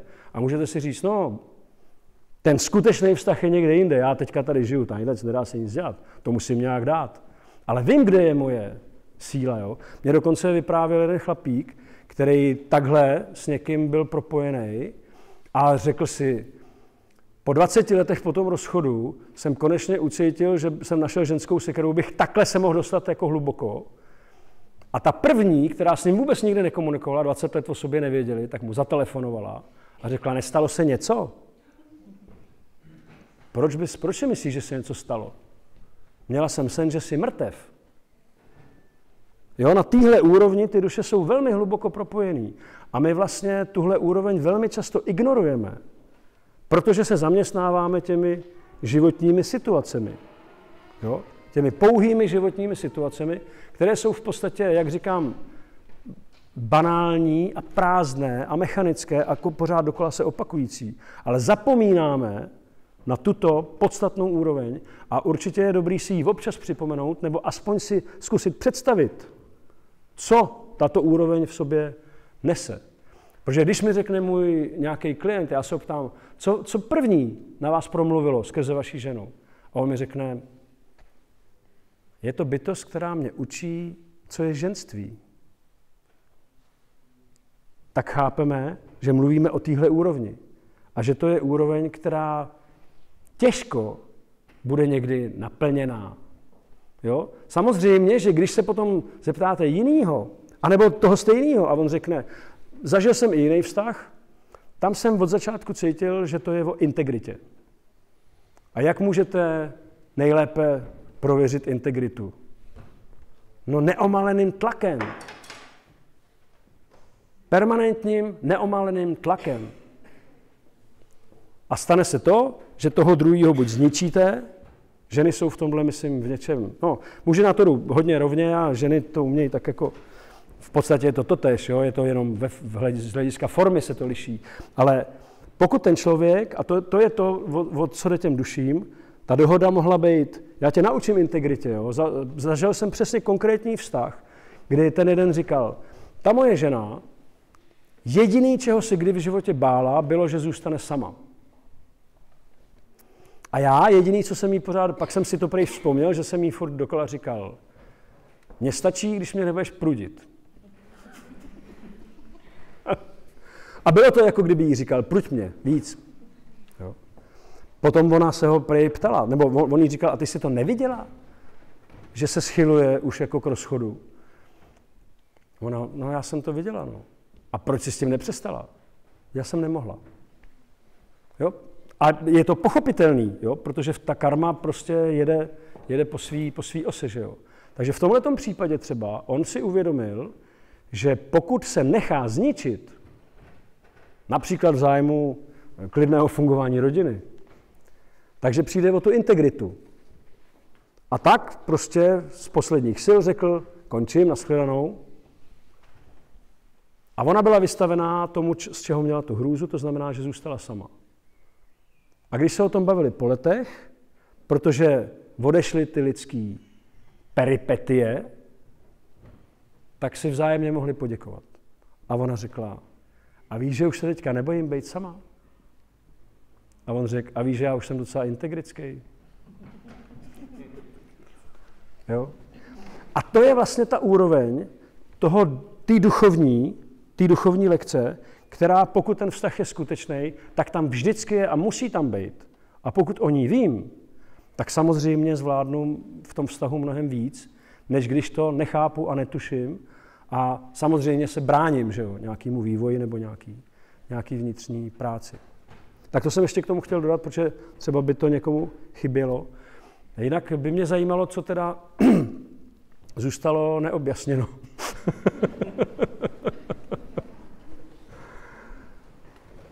Nebo spíš, čím byste to doplnili vy? Ano? Je možné, aby jel ten vztah na té karmické úrovni a zároveň i na té hluboké duchovní, by se to nějak prolínal, střídal, jednou vystával tohle téma hluboké do hluboké. Já jsem tímhle se také hodně zabýval. Samozřejmě, že naivním snem, který si člověk takový idealističtější v sobě nese, by bylo to, že by bylo moc krásný překonat karmické bloky a protrpět se, propracovat k tomu bytost, k té bytostné úrovni, to znamená k té úrovni, kde člověk s tím druhým skutečně je v harmonii a v hloubce. Ale prakticky se domnívám, že pokud bychom si to představili jako protiklady, že na jednu stranu karmický vztah je skutečně fuška. To každý, kdo si toto někdy uvědomil, tak ví, že to je teda opravdu jako velký utrpení a velká dřina. A často se člověk ptá, proč. Často to nemá ani jakoby nějaký smysl. Na druhou stranu by se dalo říct, že bytostný vztah by měl být vztah, kdy, kdy skutečně ty bytosti k sobě patří. A to, že spolu jsou, je pro ně přirozený a samozřejmý. Ale protože jsme lidé a sestáváme z protikladů, tak prakticky vzato neznám žádný příklad, kdyby někdo skutečně mohl říct, já žiju čistě v bytostném vztahu a nemáme vůbec žádný starosti. Nejlíp to vyjádřil jeden můj kamarád, já jsem to někde, někde už vyprávěl a to, to mě fascinovalo, tam jsem si řekl, to je, to je mudrc. Jo. On řekl, jsme jako nějakou procházku a on taky dělal terapeuta, dneska už je v důchodu, a říkal, celý život jsem snil o guruovi, skutečným guruovi, takovým tom duchovním mistrovi, který mi bude dávat ty úkoly, nesplnitelný, těžký. A já je budu plnit prostě. A porostu jako duchovní tvor. A já jsem takovýho člověka nemohl vůbec najít. A pak říká, jeho žena šla takhle na nás. A pak říká, pak jsem si uvědomil, že to je moje žena. A ona se tak jako usmála a on řekl, to je vlastně jediný důvod, proč jsem se nerozvedl.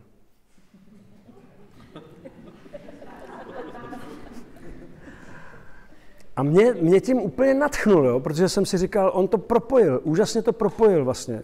Jo, jako to právě, že člověk se jako domnívá, že něco žije někde a něco jiného bude žít někde jinde. Přitom vůbec nechápe, že sám, to, co jsem řekl na začátku, sám je mírou všech věcí v tomhle smyslu, sám je nositelem celého toho prožitku, i těch kritérií, i těch hodnocení. A tady najednou skutečný mistr řekne, celý život hledám gurua, někoho, kdo mě bude stavět před neřešitelný, neřešitelný problémy. Já je budu řešit a porostu. A teď jsem uviděl, že to je moje žena. A proto jsem se nerozvedl. Jo? A já si myslím totiž, že, že ten bytostný vztah je umožněný i tím, že aktivujete tu bytostnou úroveň. Ona dokud není aktivovaná, tak vlastně ani bytostný vztah neexistuje, není možný. A vždycky budeme tíhnout k tomu karmickému, že? to znamená k určitýmu druhu. A to nemusí být jenom manipulace, ale karmické vztahy jsou vždycky postavený na jakýmsi karambolu, který někdo si nese. A ty duše si ho nesou. A potřebují ty uzly právě rozvázat. Rozvázat ty, ty uzly. Ale pochopitelně, že si můžeme zkusit představit, že když ty uzly rozvazuju, tak se mi ta bytostná úroveň otvírá. A, a to je to, co jsem se snažil říct. Když ve svém partnerovi, ve své ženě uvidím tu božskou bytost, tak vím, že 90% problémů, který mě jinak nebetyčně pijou krev, jsou naprostý malichernosti naprosto nepodstatný. Byť se kvůli nim můžeme dohadovat. A najednou přestanou dohady a začne něco společného, daleko hlubšího a podstatnějšího. A pak se to už moc neřeší. Ty blbosti, myslím ty trenýrky a tak.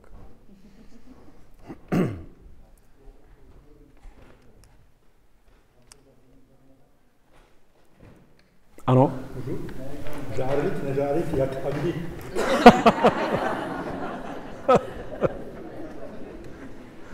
to jste mě nadchl, už, už, už tím, jak jste tu otázku položil. Eh, musím k tomu teda poznamenat jeden velmi jednoduchý, jednoduchý poznatek, a dneska už naštěstí častěji, častěji eh, se objevuje tady ten úhel pohledu, žárlivost, nebo takhle, já to vezmu z jiné strany. Eh, to, čemu říkáme láska, je duchovní stav. Ve chvíli, kdy se dostanu do tohoto duchovního stavu, pak cítím lásku ke světu a k bytostem. To, čemu se normálně říká láska, a co je takhle tady jako spíše zvláštním trhem se závislostí, to se skutečnou láskou nemá vůbec nic společného. Takže je to nepříjemný říct, ale pokud cítím žárlivost, pak nemohu toho člověka milovat. To není možný, protože láska znamená, toužím po tvým štěstí. Je to touha po štěstí toho partnera. A dokonce, když zjistím, že já jsem tou překážkou v tom štěstí, pak se seberu a jdu. To je láska. Žárlivost říká, e, tohle jsou moje boty a ty já nebudu nikomu půjčovat. To říká žárlivost. Jo? To je stav, ve kterém ego naopak vlastně cloní nás od té od lásky a místo toho se tam dostavuje, a ona je to v podstatě jako symptom, je to, je to podobný, jako když si zkusíte představit, jakmile jsem opustil přítomnost, okamžitě pocítím strach. Přesně v tom okamžiku, kdy opouštím přítomnost, dostavuje se strach. Nemůže to být jinak. Přesně v okamžiku, kdy přestávám komunikovat, začínám manipulovat. Přesně v tom okamžiku. Přesně v tom okamžiku, kdy přestávám milovat, začínám žárlit. To je velmi nepříjemná pravda. A mě s tím potom začal směřovat jeden náš profesor patologie, který říkal, víte, to, že na svoji ženu žárlíte, vám její věrnost nezajistí. To už říkám praktický poznatek, protože velmi často e, právě ten partner, který obtěžuje svého partnera žárlivostí, e, v podstatě ho dostrká až tam, že se opravdu začne dívat jinde. Protože žít se žádlivým člověkem je poměrně nepříjemný, stejně jako žít třeba s lakomcem. Jo? Jako s někým, kdo vás jako trápí svým problémem. To je to, co jsem řekl na začátku. Ve vztahu, ve vztahu je dost obtížný jako řešit problémy. Vztah je, vztah je významný jako zrcadlo. Ve vztahu prostě se dívám do zrcadla. Bohužel, i když se mi nelíbí to, co tam vidím, stejně tomu neuniknu. Takže když žádlím, měl bych si primárně uvědomit, to je můj problém. Není to problém té partnerky. Jo. My máme, teď zrovna tady náš hospodský nemůže zítra jít s náma hrát tenis, protože se musel prostě poprat s chlapem, který v té hospodě fackoval svoji vlastní ženu. A to on, jí, to on mu řekl. Tady to dělat nebudeš. No. Akorát, že prostě, když mu vypne myšlení a nastoupí tam pudy a on si fakt myslí, že to, že ona mluví s jiným mužem, je pro něj ohrožující, tak bohužel my to tam třeba máme tak, že na tyhle věci se nedíváme jako bez komentáře.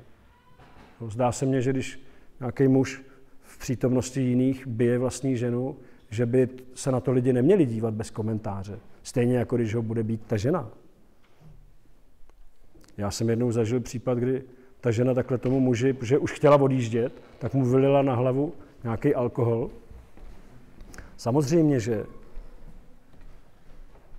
od té doby se nezapomínám zeptat, jestli zase bude se dneska vylívat ten alkohol na tu hlavu. Jo. Zdá se mi, že není dobrý tyhle věci přicházet bez komentáře, protože potom se stávají samozřejmýma a, a budou kazit náš společný prostor. A neměli bychom, aspoň já si to takhle myslím, tomuhle přihlížet a nechávat to tak být. Takže ono to může vést až takhle daleko. Jo. Když jste, hned tak jste to řekl, tak jsem úplně uviděl tu situaci.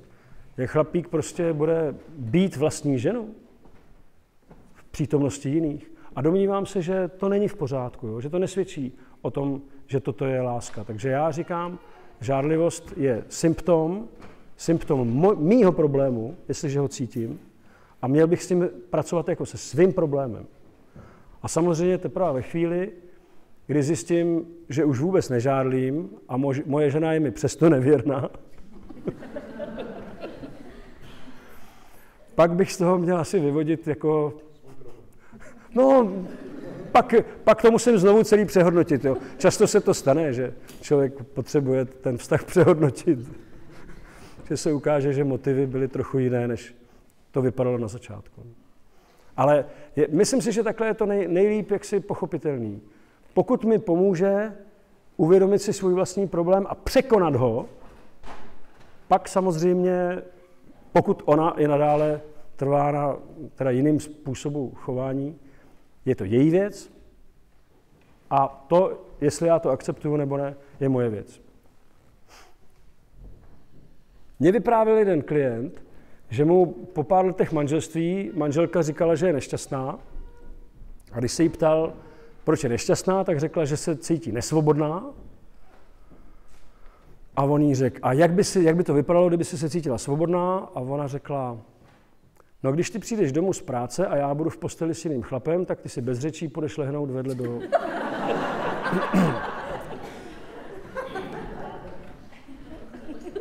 Takové věci se dějou. No a, a on řekl, já jsem o tom tři dny přemýšlel. No. Ač žádlivý on teda nebyl. A pak řekl, v podstatě bych proti tomu námitku neměl.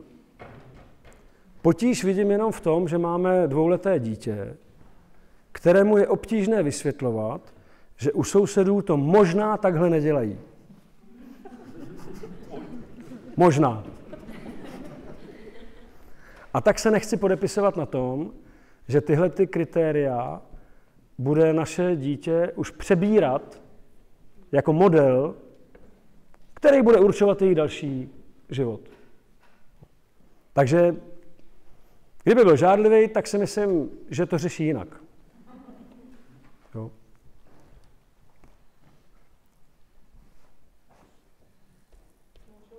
Ano? A jak je to s otázkou věrnosti u těch párů, které jsou vlastně spolu sladěné?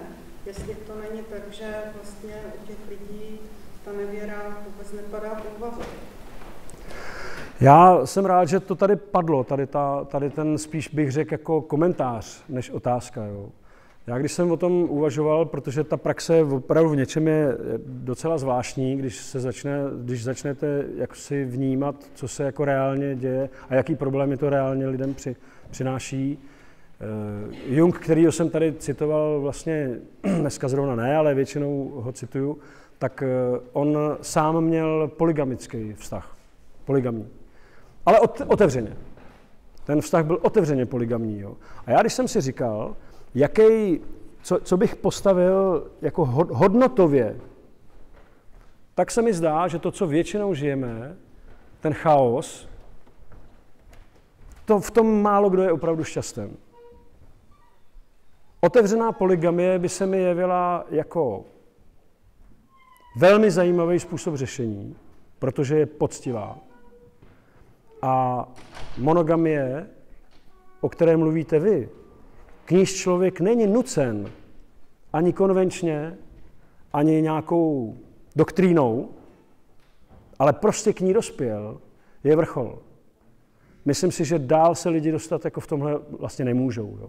Protože, a to je, to je vlastně to, když převládá už ten byt, ta bytostná úroveň a skutečně s tím člověkem zažíváte něco, to je totiž, je dobrý vlastně na to upozornit, že v tuto chvíli to spojení těch bytostí je už eh, narůstá ohromná synergie. Tam je, tam je vlastně ten stav, ve kterém už jenom to, že ti dva jsou společně, spolu, tak eh, ohromným způsobem narůstá jejich energetický potenciál. A potom úvahy tohoto typu jsou skoro už jako mimo rámec té vibrace. Jsou vlastně mimo rámec. Protože vy můžete vidět eh, nějaký jiný že rozumíte, většinou, kdy člověk sahá po nevěře, ve chvíli, o, o který jsem mluvil, kdy moje žena není stoprocentně mojí animou a ta, tahle ta je velmi zajímavým doplňkem. jo, ona najednou mi napl, naplňuje jiné věci, jako s, s mojí ženou je to fajn, ale prostě tady ta, to je šamanka a paráda, jako jo. To je, moje žena je všecko jiného, než jenom ne šamanka, prostě, no. A Thailand prostě můžeme tancovat kolem ohně a, a to je věc, jo, jako. A tomu se moje žena usmívá, připadá jí to jako legrační. Jo, to je ten moment, ve kterém toto je řešení, uh, řešení situace, spíš bych řekl, uh, tou, tou nevědomou cestou, tou stínovou. Zatímco ti lidé, kteří skutečně jsou schopni uh, být si vědomně partnery, tak jsou, řešejí úplně jiné otázky. Jo. Tohle si myslím, že už pro ně není ani, ani otázkou, která, která by byla jaksi vůbec jako hodná pozornosti. Rozhodně. Já takových lidí znám poměrně málo. Ale pořád věřím, že... Pardon?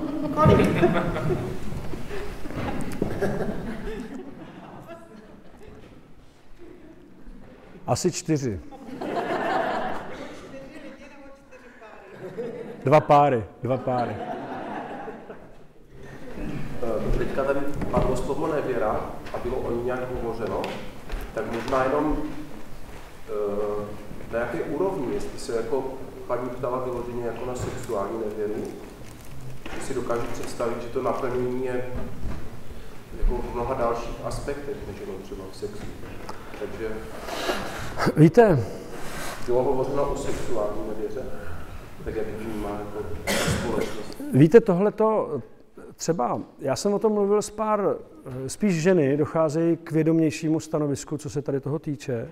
A e, všechny se shodly na tom, ne, naprosto nezávisle na sobě, že nevěra, i byť i potenciální nevěra jejich partnera je vlastně vůbec nezajímá, protože ten člověk, který se dopouští nevěry, je primárně nevěrný sám sobě. To se vůbec netýká vlastně toho partnera. Toho se to v podstatě netýká. Je to problém toho, kdo, to, kdo, kdo jako tímhle způsobem jde. A e, jestliže pro člověka je problémem například to, že nějaká, pro muže, že jo, když nějaká žena v něm vyvolá něco jako příjemného a považoval by to za nevěru, tak pak bych mu doporučil, ať trochu víc ještě zkoumá duševní procesy. Jo, protože možná v tom má hokej. Je můj kamarád, kterýho si velmi vážím, řekl, na ženách už mě v podstatě nejvíc zajímá flirt. A on flirtuje s prodavačkou, od který si kupuje rohlíky prostě. Jo. Způsobem, řekl bych, docela inteligentním, ne jako nějakým neomaleným a zdá se, že ani ona na to nereaguje nějak nelibě. Ale on říkal, ten mozek, ono to tak jako, něco se tam děje. Něco se tam děje, není, není to jako mrtvý, jo. Ta žena se cítí jako žena, já se cítím jako muž. Vůbec nepotřebuju nic jiného. Chci jí dát najevo, že ji vnímám jako ženu a když ona mě vnímá jako muže, myslím si, že to je velmi dobré. Taky si všimněte, že ten tah toho systému směrem proti přirozenosti je neobyčejně teda jako systematický a cílevědomý. Nakonec nám bude zakazováno, abych se, abychom se k sobě chovali jako, jako muži a ženy. Jo? V Americe už jsou ty případy, že podržíte ženě dveře a ona na vás prostě pošle policajty. Jako. To je hodně, hodně zvláštní. Jo? A myslím si, že, že tento typ přirozenosti nemá nic společného s nevěrou. Je to prostě něco přirozeného. Ale Ruiz má geniální příklad, když říká, žena jde po ulici a najednou ji vzruší nějaký muž. A ona si řekne, fuj, to jsem teda hrozná. Jo? Myslím si, že kdyby byla vnitřně zdravá, tak si řekne, o, to je dobrý, jako jo. Ještě žiju. Ještě jsem ve. Jako. Jo, ale pokud se jí stane, že si řekne, fuj, to je teda ale hrozný, tak to znamená, že vlastně má velký problém a tím pádem, ano, ona by tomu řekla duševní nevěra, a může už přijít domů a už mít špatný svědomí vůči svýmu muži, protože sakra, takhle by to být nemělo. A on potom říká, a zkuste si představit, že v tom pokračuje dál. Ona už klidně s tam tím chlapem naváže vztah a už je to její milenec. Ale myslíte si, že se cítí líp? Vůbec ne. Ani v nejmenším. Protože ten problém není v tom, v tomhle. Je v tom, jakým způsobem to člověk prožívá. Protože existuje ještě něco, čemu bych řekl individuální morálka, na rozdíl od kolektivní morálky, a tam je, tam prostě není, kolektivní morálka říká, jsem kolektivní člověk a platí na mě kolektivní kritéria. Avšak individuální morálka znamená, dospěl jsem ve svém vývoji do úrovně, kdy skutečně pouhým jediným soudcem pro mě je božství. Neboť proč bych se měl dovolávat porozumění u lidí?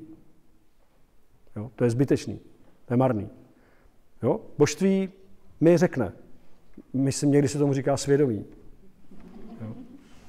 A tak pokud mám čistý svědomí, proč bych se měl trápit? Zrovna tady ten případ, který jsem tady řekl o Jungovi, je zvláštní v tom, že já jsem o tom poměrně dost uvažoval a říkal jsem si, za A jeho žena asi z toho nebyla tak nadšená, umřela na rakovinu žaludku, mohlo k tomu být mnoho jiných důvodů, jo. ale pak mi říkal kamarád, který se tím zabýval víc, říkal, ano, on měl tu, že jo, Tony Wolfovou, nebo jak se jmenovala. Ta byla někde na druhé straně jako města ve středu paní Jungová brala děti a odcházela pryč a přicházela Tony Wolfová. A v neděli Jung šel za Tony Wolfovou. A takhle to bylo jako, takhle to bylo. Tak ona s ním zažila jiné věci ještě. Jo.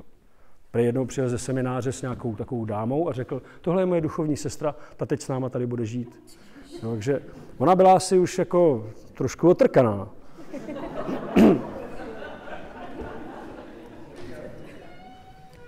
Ještě, ještě chvilku, já to jenom dokončím.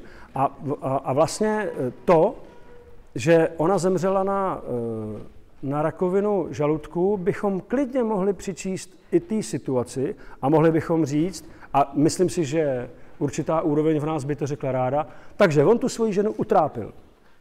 Jo? Na druhou stranu, on, on někde říká, že po smrti se mu objevila jako v archetypové úrovni, vlastně jako bohyně, skutečně, s těmi atributy, velmi dlouze pro něj připravený sen a on řekl, moc dobře jsem věděl, že to je vzkaz mojí ženy, mojí duši.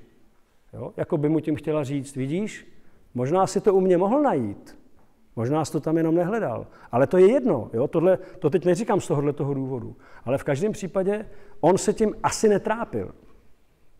Jeho svědomí asi jako špinavý nebylo. Nevím, nevím, já jsem s ním nikdy nemluvil. Ale nikde se o tom nezmiňuje. A navíc on je syn svojí doby a o těchto věcech se vůbec nezmiňuje. On jako rodinný věci, čtyři věty v celém díle. Něco, že na svých dětech jsem si taky všiml. Jo, takhle nějak. Jo. Ale jinak o rodině, o rodině se prostě nemluví. Ano? Já bych chtěl říct svoji zkušenost k těm párům, kteří to mají takové volné. Já jsem minulý rok strávil s jednou rodinou vlastně celé léto. A vím, že oni to takhle mají, že je to nevěra vůbec nezajímá. A mi to přišlo tak, že je to nezajímá do takové, do takové míry, že si spíš všimali těch dětí a tohle a vlastně to jim bylo úplně fuk. Takhle nějak prostě mi to přišlo, že si spíš užívali fakt jako ty děti, tohle, tohle a to jestli tam někde, tam někde, ježíš, tady. Víte co nám, eh, já když jsem o tomhle mluvil s profesorem Machovcem, a my si to často neuvědomujeme, tak on říkal, ještě na konci 19. století bylo kmenové uspořádání rodiny poměrně rozšířené, a to ne jenom na venkově, ale i ve městech. A to, že na nějakém velkém statku byl prostě alfa samec a pak tam byli nějaký další ještě muži a další nějaký ženy a nějaký děti, že do určité míry se řešilo, jako čí ty děti jsou, ale od určité míry už se to tolik zase neřešilo. Jo, která ta děvečka tam s kým vlastně jako to dítě má, bylo více méně, ne, nebylo to na programu dne. Jo. A já jsem si to vlastně uvědomil sociologicky, to je nesmírně zajímavý. Samozřejmě i ve městech, kde chodili vlastně ty mladé ženy takzvaně na zkušenou do těch rodin a často odjížděli s outěžkem, Eh, a teď se to nějak řešilo, málo kdy svatbou, většinou finančně. Jo? To všechno jsou vlastně věci, které jako naprosto patří do naší reality, akorát, že tam to ještě bylo jako zjevnější a ještě skutečně to byl problém. Jo? Třeba nemanželský dítě. Jo? Dneska už to tak problém, takový problém naštěstí, naštěstí není. Že se to přesouvá do trochu jiné sféry. Ale eh, já jsem si to uvědomil, když mi to vyprávěl ten profesor Machovec, že to je 100 let. 100 let zpětně. Jo? A ještě možná míň. Jo? My, jsme, my si myslíme, že takzvaná nukleární rodina, ve které je stejný napětí jako v tom nukleárním jádru, že to je to, co jako jsme potom toužili několik tisíc let a konečně to máme, že jo? Tak ještě před sto lety bylo dost normální, že spíš žili rody spolu, než rodiny, takhle jako nukle, nukleárně než se rozbije ten atom. No, ale když do toho zamotáte genetiku? No, tak... Ona... Já nevím.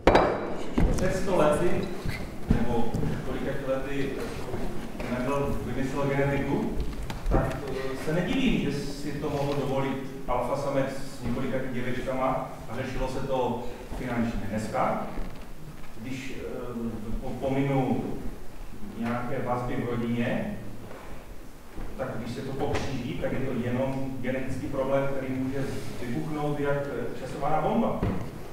Víte co, když to budeme redukovat na genetiku, tak eh, si nejsem jistý, že tomu úplně porozumíme. Mně se daleko víc líbí ten Jungův eh, úhel pohledu, kdy se ukazuje na dva základní pudy, které se tady toho týkají. A to je pud endogamní a exogamní. A ty jsou pozorovatelný už u těch nejstarších dob, u těch nejstarších eh, jaksi lidských nějakých kmenového uspořádání. Řeklo by se, že exogamní put říká, za partnera, za partnerku si vyber toho, kdo je nejdál. Cizince. No jo, ale tady je endogamní put, který říká pravý opak. Matku nebo sestru. Otce nebo bratra. Jo? A tyhle dva pudy prostě nám ten pán Bůh jako dal, oba, parchant jako. Kdyby nám dal jenom jeden, tak to nemusíme řešit, jo? Už víme, co je dobře a co je špatně. Jenže jsou tam oba. A Jung ještě k tomu říká, že samozřejmě ideálním, ideálním uspořádáním společnosti by bylo nalézt rovnováhu mezi těmito dvěma pudy, což indiáni třeba dělali tím, že brali všechny jako svoje příbuzné. Všichni jsou moji bratři a sestry. Ne v Kristu, ale prostě v něčem přirozenějším v tomto světě. My žijeme ve světě, ve kterém bychom mohli snad říct, že zvítězil exogamní put. Že každý každý je vlastně cizincem. Jo, když nepočítáme takzvaný údolí dutých hlav, někde na Slovensku, o kterým občas mi někdo vypráví. Jo, kde prostě skutečně geneticky je jasný, že je dobrý, když se lidi jako trochu křížejí. Než když stovky let žijou prostě a křížejí se jenom mezi sebou. Takže tam se zdá, že, že smysl těch obou půdů je, je je jaksi naplněn, ovšem v našem světě vlastně zvítězil pod exogamní, ale myslím tím v našem vnějším světě. A máme s tím velký psychický problém, protože endogamní put, který byl potlačený, se proměňuje v incestní tendenci, která je naprosto průkazně přítomná a působí infantilní vazby v rodinách.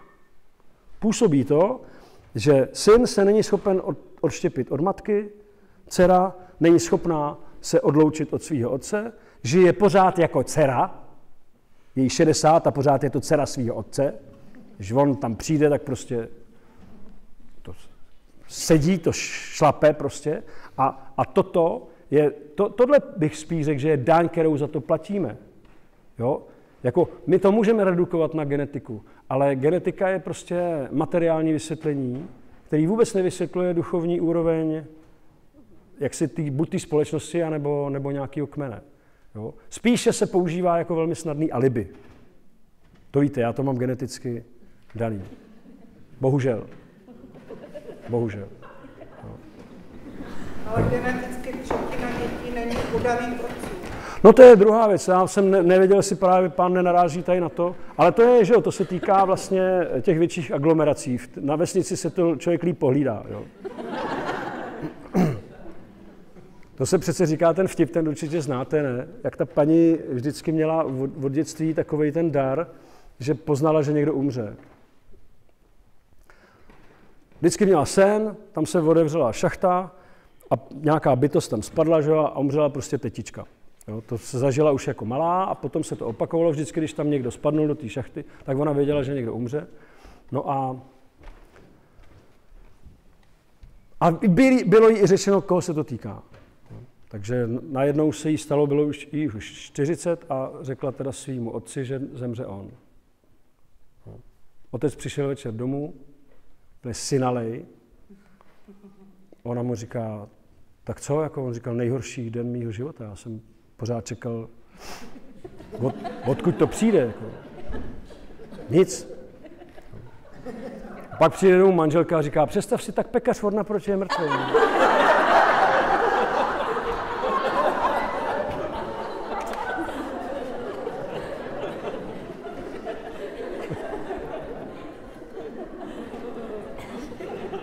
Takže to věděla.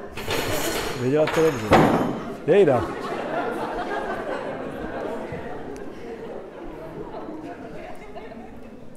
To víte, to jsou ty silné poznatky. tak jo, přátelé, myslím, že pomaličku asi, asi to máme tak takový završ, završený. Má ještě někdo k tomu takovou nějakou, co by mu fakt chybělo, kdyby toto nebylo ošetřeno? Jestli by se tohle nedalo vyučovat ve školách, aby se přešlo těm ostatním problémům. Mluvíte mi z duše. Tak jo, přátelé, tak přeju, ať se vám všem velmi daří ve vztazích, kterým stejně nemůžeme uniknout a pokud toto sloužilo k tomu, aby alespoň malinké projasnění eh, ve vašem vztahu nastalo, tak to nebyl ztracený čas. Mějte se dobře.